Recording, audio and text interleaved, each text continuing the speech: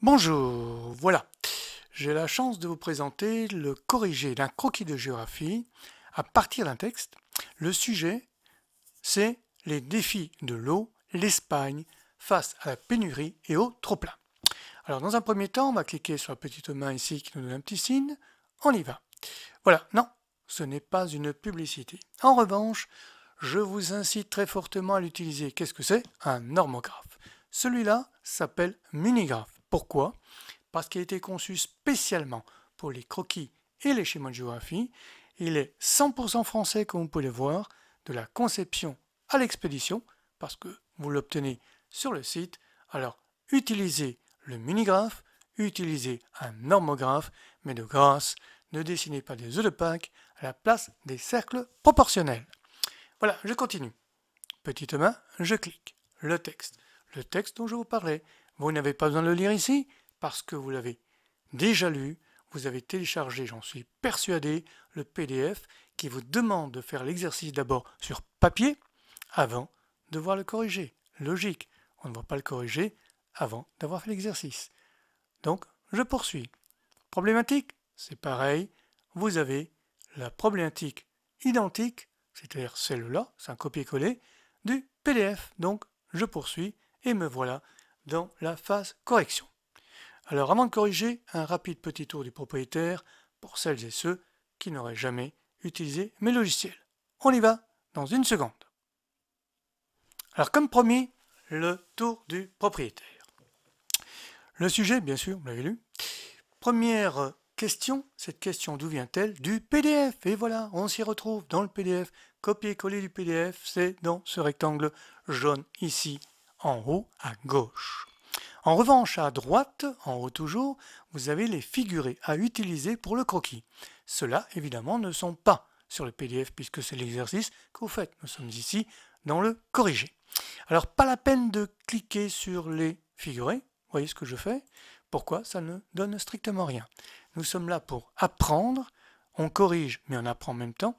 Donc, de cliquer simplement dessus pour chercher, ça, c'est du ressort de YouTube et compagnie, je clique, je gagne et je ne gagne pas. Ici, nous allons travailler. bien sûr, le fond de carte. Ici, deux petits boutons qui sont très utiles. Carreau de cahier. Pourquoi? Vous allez voir tout de suite.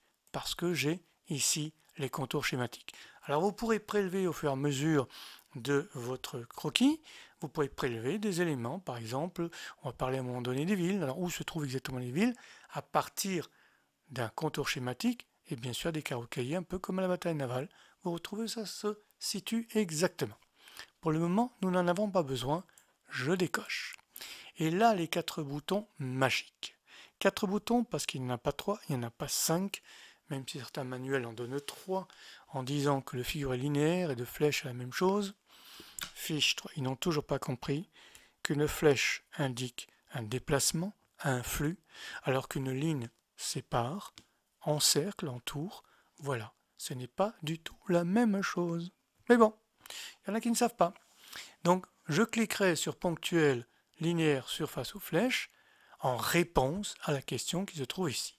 Nous allons voir tout de suite. Première question, l'Espagne, c'est un pays méditerranéen.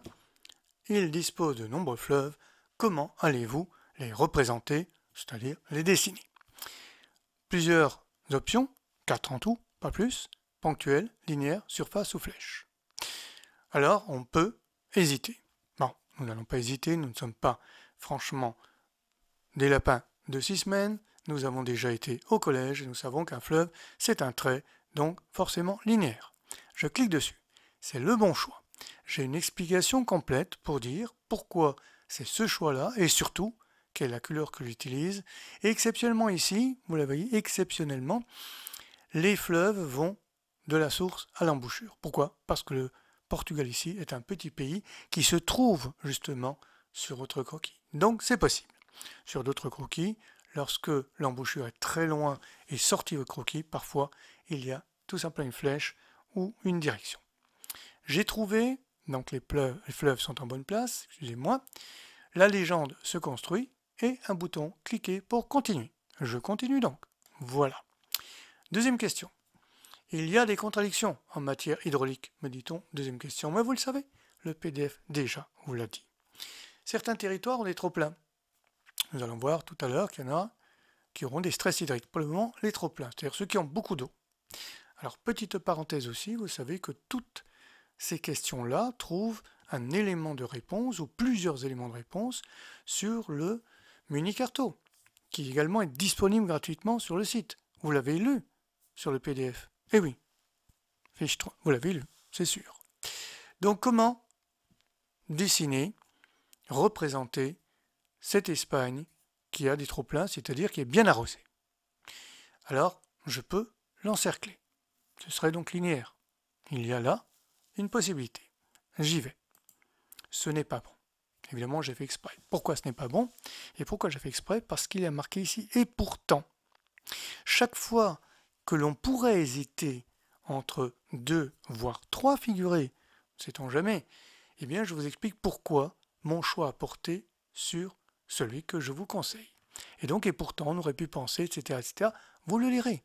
C'est comme ça qu'on apprend à faire de bons croquis scientifiquement justes. Alors, c'est pas linéaire, ponctuel certainement pas, flèche non plus, donc ça va être surface. Oui, c'est surface. Bien expliquer aussi pourquoi c'est surface et non pas linéaire, mais en plus, la couleur. Pourquoi ces couleurs? On parle d'eau, c'est vert. Pourquoi? Vous le lirez, c'est expliqué, ce n'est pas par hasard. Donc je poursuis. Troisième question, il y a des territoires qui ont des ressources en eau, on va dire satisfaisantes, encore que j'aime pas satisfaisant, mais satisfaisant, ça veut dire c'est bon. Donc suffisamment, on va dire suffisamment, ne sont ni dans le premier cas trop plein, ni dans le troisième cas qu'on a trouvé, d'après le texte toujours, c'est-à-dire en situation de stress hydrique. Donc là, c'est très simple, puisque ici c'est un surface, ce sera un surface aussi.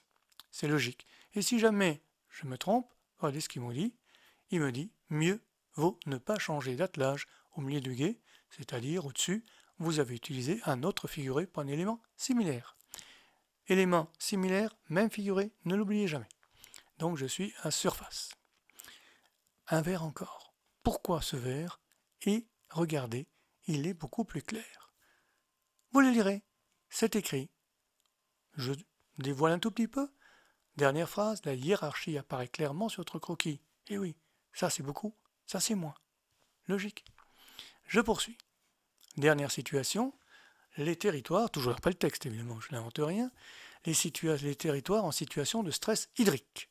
Alors là, il y a très peu d'eau, on va en amener, on va le voir, mais pour le moment, ils sont moins bien dotés par l'eau de pluie.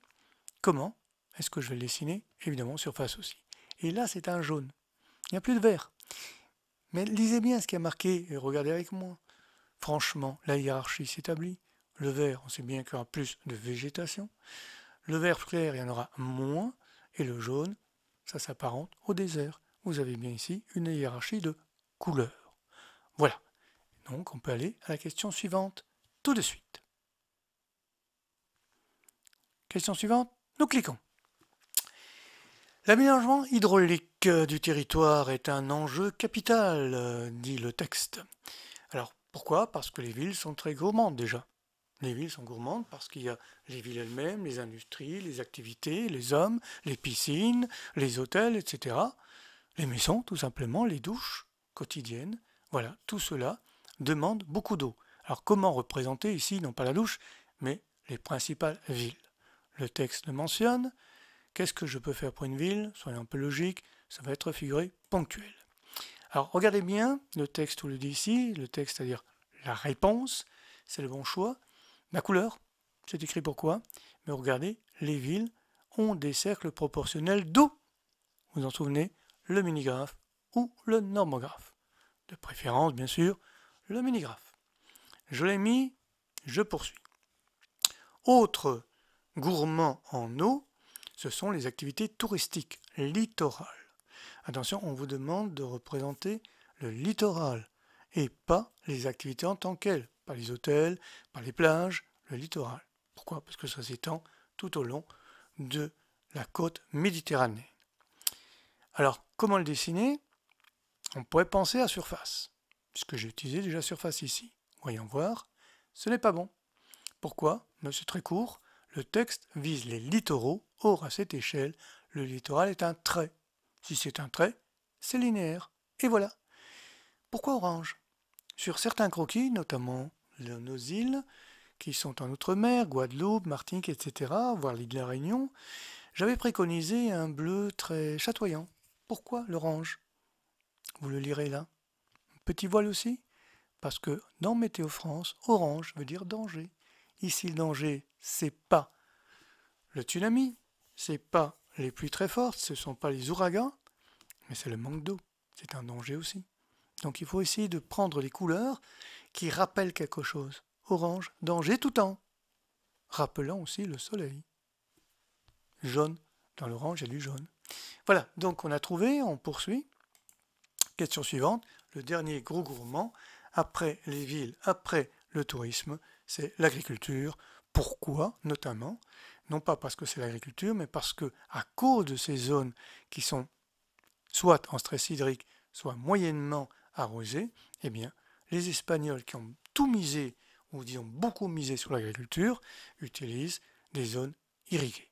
Voilà, c'est écrit dans le texte, il y a des renvois vers des liens pour mieux comprendre. Et bien là, maintenant, on vous demande de dessiner, de représenter les zones d'agriculture irriguées. Comment faire? Je peux mettre un trait autour. Hop, essayons voir. Linéaire. Ce n'est pas le bon choix, mais je sais que les élèves au fond m'ont dit, monsieur, de toute façon, il n'y avait plus linéaire. On a utilisé le bleu pour les fleuves, l'orange pour les littoraux, mais moi, j'ai envie de savoir quand même pourquoi je n'ai pas conseillé le linéaire. Flèche, certainement pas ponctuel non plus. Donc je prends surface. Et oui, là, des surfaces assez bizarres. Ce sont des hachures. On appelle ça aussi un figuré de surface puisque ça remplit une surface. Voilà. Puis d'ailleurs, ça se trouve dans un petit rectangle ici pour bien dire que c'est un figuré de surface. Alors ce verre-là n'est pas innocent. Les hachures non plus. Le choix, parce qu'on aurait effectivement pu faire linéaire. Pourquoi j'ai pas pris linéaire? Pourquoi j'ai pris surface? C'est expliqué. Quand vous l'aurez lu, vous aurez compris. Je poursuis. Ce n'est pas tout. Alors, pour essayer de trouver une solution, eh bien, l'Espagne a essayé, on va le voir tout de suite, d'apporter des éléments pour gérer cette situation. Alors la première des choses, dit le texte, et la question s'y réfère, la première chose, depuis 1940, il y a eu en Espagne un ambitieux plan qui a permis de créer des barrages hydrauliques. Comment je vais représenter, non pas le plan, mais les principaux barrages hydrauliques? Tout, c'est pas possible, il y en a plus de 600. Enfin, les principaux, quand même, pour montrer un peu qu'il y a une espèce de solution qui germe déjà, dès 1940. Alors, Barrage historique, alors le petit élève va me dire, monsieur, il n'y a plus de linéaire, monsieur, il n'y a plus de surface, il ne reste plus que les flèches et des ponctuels. Ça, franchement, c'est pas intelligent. Ce qui est intelligent, c'est de savoir. Alors, derrière un barrage, il y a de l'eau. Donc, ça pourrait très bien être la surface. Voyons voir pourquoi je n'ai pas pris la surface. Et là, il y a aussi et pourtant. Ça veut dire qu'on aurait pu utiliser. Vous lirez pourquoi je ne l'ai pas privilégié. Évidemment, flèche, c'est pas possible. C'est un barrage. Linéaire, oui, et pourtant, oui, on a pu mettre un trait pour barrer. Oui, pourquoi pas. Regardez, déjà, c'est absurde parce qu'il y a énormément de traits déjà dessus qui représentent cette fois-ci les zones irriguées. Donc ça n'aurait pas pu marcher.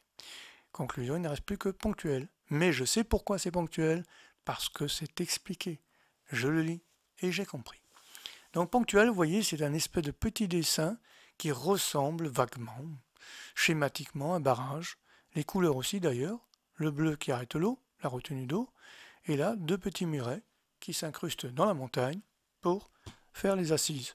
Voilà, c'est un petit dessin qui ressemble de loin, ou alors un M si vous préférez. Mais enfin, c'est un barrage. Et un barrage n'a pas de M que je sache. J'ai trouvé donc, je poursuis. Il n'y a pas que les barrages, il y a aussi eu des transferts d'eau. Alors il y en a plusieurs, mais on va prendre le principal qui est sur le minigraphe, représenté dans un croquis de géoconfluence. Vous le retrouvez donc très facilement. Comment je vais le reproduire? Ah, Il ne me reste plus grand-chose, hein. mais je vais réfléchir quand même. Transfert, alors là, franchement, si je rate mon coup, transfert c'est flèche. Je l'ai dit au départ, les manuels qui confondent linéaire et flèche. Je ne vais pas moi aussi le confondre. Donc le transfert, ça passe d'un endroit à l'autre, donc flèche. Et voilà. Mais là aussi, précision, curieuse flèche. Ce n'est pas une flèche qui part d'un endroit vers l'autre, pourquoi j'ai privilégié trois têtes de flèche sur un parcours, vous le lirez? C'est pas commun, et c'est bien pour montrer qu'il y a un transfert d'eau, et que ce n'est pas de l'eau qui est envoyée de là là, c'est bien pour montrer la progression, bien montrer le déplacement. C'est ainsi que je l'ai conçu, vous le lirez. J'ai trouvé? Ben, Je continue. Il y a aussi, vous l'avez lu dans le texte, vous êtes, je vous ai renvoyé vers Google, qui a répertorié un article nous précisant qu'en 2008, l'Espagne, qui était confrontée à une sécheresse très dense, très importante, a importé de l'eau de Marseille, notamment. Marseille chez nous, en France.